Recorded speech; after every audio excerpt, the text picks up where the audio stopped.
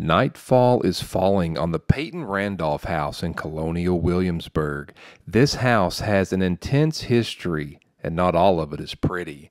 This house is said to be the most haunted structure in the eastern United States. Some serious folklore is attached to this structure, and it has been the site of several deaths. The hauntings are not recent in nature either. French general of the American Revolution, Marquis de Lafayette, returned to Williamsburg in 1824 and would write, Upon my arrival, I felt a hand on my shoulder, trying to keep me from entering. He would also write that the nights are not restful, and the sounds of voices kept him awake for most of his stay. The house was built in 1715.